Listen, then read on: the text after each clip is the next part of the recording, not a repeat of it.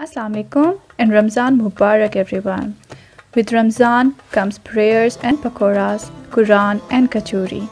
Where Ramzan should be all about prayers and Quran, we can't even let pakoras and kachoris go. My life had been about avoiding fried things in Ramzan, but being brown won't let me be without it. Nonetheless, over the years, I have discovered the perfect blend for Ramzan food intake. Starting from Sehri, I've started taking whole wheat roti now. I've always been a bread consuming person, but I think wheat roti is best. Weigh your roti according to your appetite and have it with any curry your mom makes. I repeat, any curry at all. I prefer lassi in sehri over tea because tea or coffee dehydrates and I really don't want that in my roza. Don't forget that real purpose of Ramzan and fasting is repenting and praying. So offer your salah on time, read Quran and avoid gaming or TV as much as possible. For iftar, you have to be thoughtful for the choice of food because you don't want to over or underwhelm your body. After a whole day of fasting, we need energy and hence I prefer any seasonal fruit shake with fruit chaat.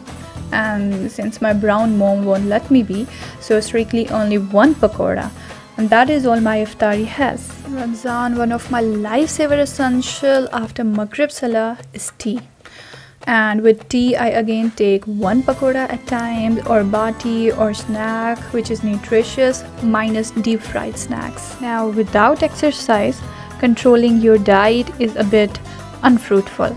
Plus, exercise in itself is a healthy lifestyle. I have allotted myself a window from 8.45 to 9.45 pm for exercise.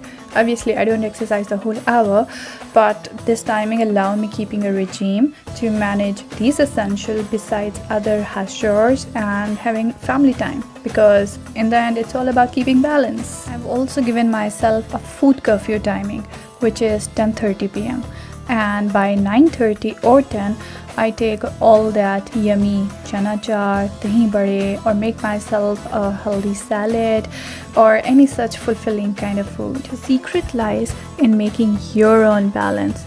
Consume lactose, protein, fiber, but in right amount so that you can enjoy Ramadan in its full zeal and zest. Remember, overeating or undereating both are equally unhealthy. I wish you all a month full of blessings and prayers meeting their right destiny. May our world be rid of all the evils and the curse of Corona.